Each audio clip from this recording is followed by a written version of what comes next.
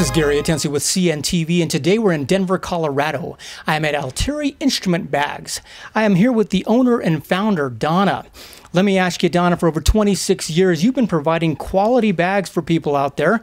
Quite honestly, though, this came from a need from one musician who needed something. Tell me how it started. Oh, it's it's a great story. Um, I was friends with a lot of professional musicians, and uh, one in particular played the tuba for the Aries Brass Quintet, which still is alive and plays at St. John's Cathedral occasionally.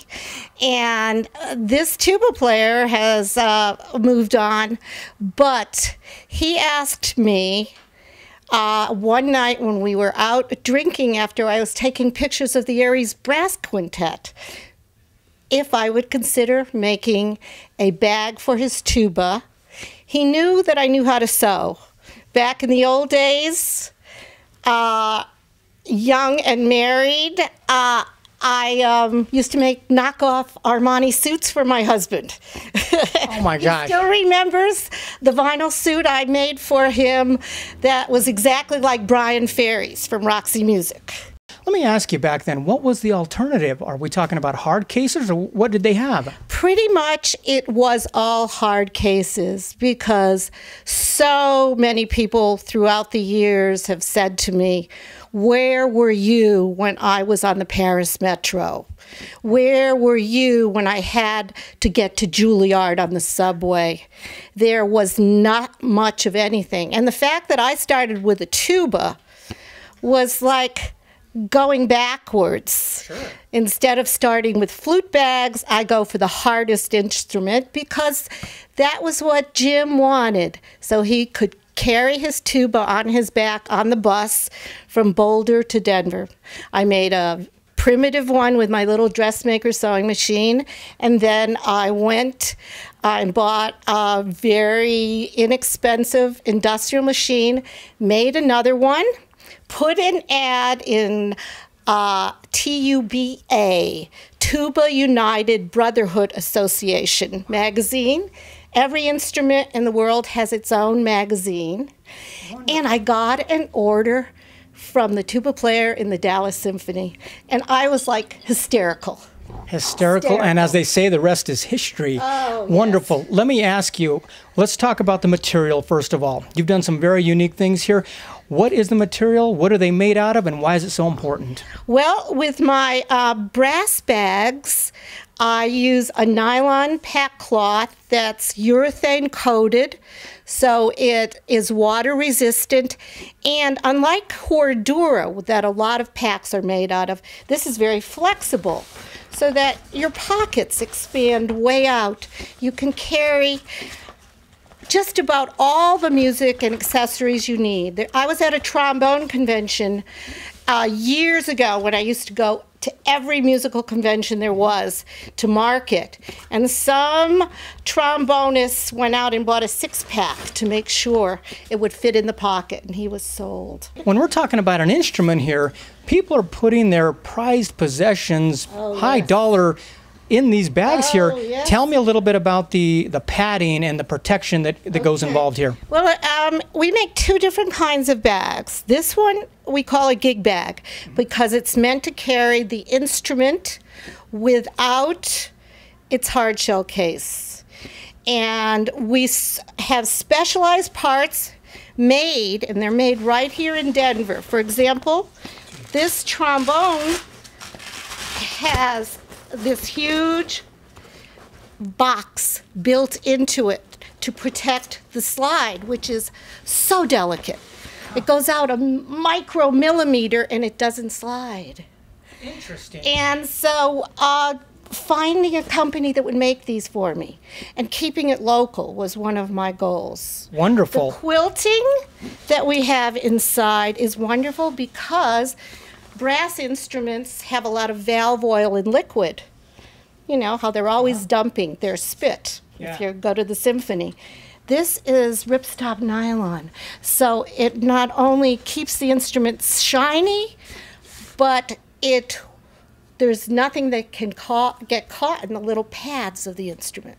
Then we use um, a combination of open cell and closed cell foam.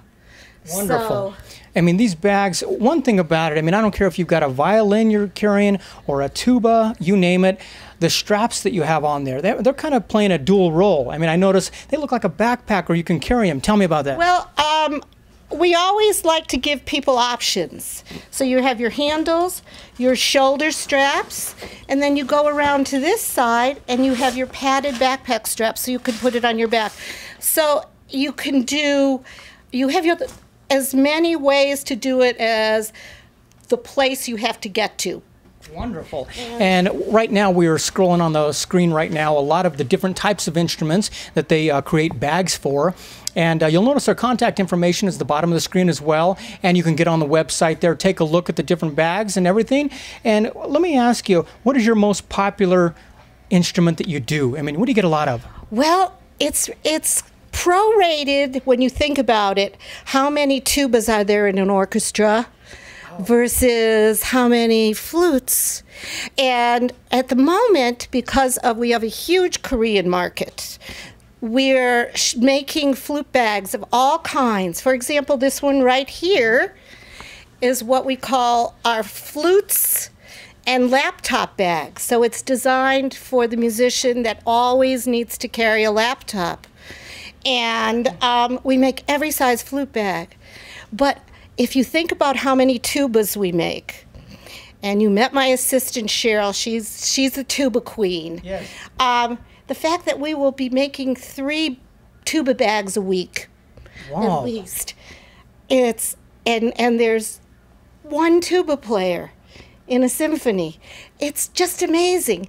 We sometimes were just mystified where all these musicians are coming from. You crunch those numbers in your mind, you're like, that, that is something else. Let me ask you, speaking of the workshop here, we're talking about a custom workshop, hands on. I see some activity going on in the back. Tell me about what happens back there and that magic and, and what kind of team you have to make it happen. Um, well, it, we're really, everyone has left primarily for the day, but uh, we have our cutters and sewers back in the workroom. And I have a contract uh, sewers that also will work off site in Denver. And uh, you met Lisa. She's putting all the pieces of hardware and buckles together so that a whole kit, we make like a kit f- for our sewers. So it's Wonderful. Just um, and this is the shipping. You're in the shipping and inventory room here, and back there is my office. Wonderful. I mean, what I like about it is the fact we're talking about a customized bag. So, quite honestly, if somebody wanted to contact you and they had a custom need or desire, like someone did 26 years ago, you would probably be up for the challenge. I think I am one of the uh, few people left in the world that will do custom work. It's a dying art form. I'm um, someone that can do a didgeridoo. I can do an ophicleide. I do a lot of the Civil War instruments for Civil War reenactment bands. Um, and you know, when you're doing it for a long time and I answer the phone and they know me by first name, that you um, you get known in the in the music world. It, and I've um, kept it small. You know, I could have let it grow and grow where I would have needed to outsource. That ethically was never the direction I wanted to go in. Um, I wanted a business that I made a good living without, I don't need to be anywhere near the 1%. And my employees are paid well and really happy. Well, that is the key. And I'm sure some of these people and these folks that have these instruments that are on the subways, in the parks, walking around, slugging these throughout the campus, they have to be happy as well. Folks, if you'll notice the bottom of the screen right there again is the website. What you're going to find on the website, quite honestly, is a lot of testimonials of people who have opened up their bags, be it worldwide, and basically realize and recognize the quality. Recognized, obviously, the love and the compassion that you have for your business, and it still keeps going 26 years later.